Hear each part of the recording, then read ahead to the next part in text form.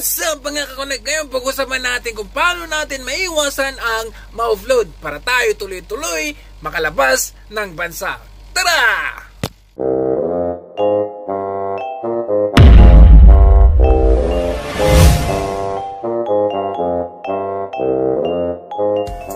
Bawat immigration officer ay may kanya-kanyang discretion o desisyon kung paano kanya i-interviewin kung ano yung mga tatanungin na para bang ikaw ay nasa audition. Pero natural lang nakabado ka, pero hanggat maaari, huwag mo ipapahalata sa officer.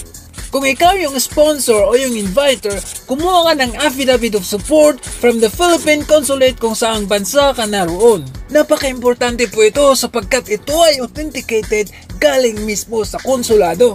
Pero take note, hindi ibig sabihin na kapag meron ka na nito, hindi ka na ma-offload kasi meron pa tayo mga ibang guidelines na dapat sundin.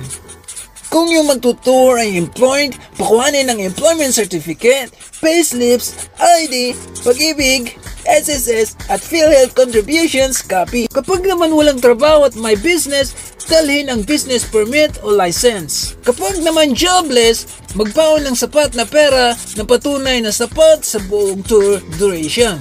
Kailangan mo ding establish kung saan galing yung pera o pondo mo para sa inyong paglabas ng bansa. Siguraduhin lang kapilyedo o relative yung sponsor.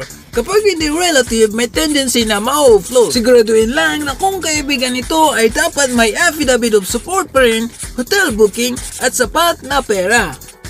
Kapag naka-fiancé ito, kumuha ng CFO certificate o Commission of Filipinos Overseas. Mangyari po lamang na bisitahin ang www.cfo.gov.ph.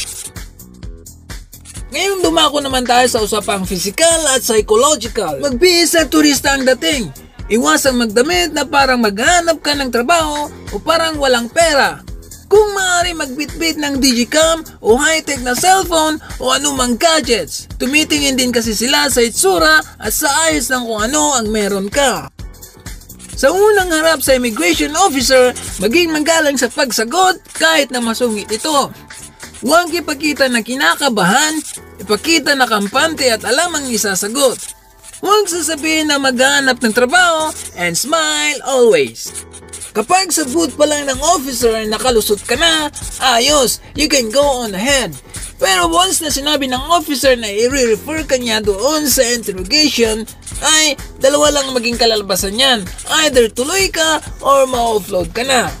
Kapag nasa interrogation room ka na at nakatunog na talagang i-offload ka, ibahin mo na ang aura. Sumagot na ng paggalit at ipaglaban ang karapatang mag-travel. Ihanda mo na ang inyong cellphone para mag-record ng patago, idaan sa bluff, Matatakot din sila kapag binanggit na magpapayad din sila sa plane ticket mo at sa abala din. Kapag offload ka na talaga, kunin ang mga sumusunod. Complete name of the officer, ipasulat sa officer ano ang mga dapat kunin para makalabas ng bansa. Isusulat nila yan sa maliit na papel kasama ang signature nila.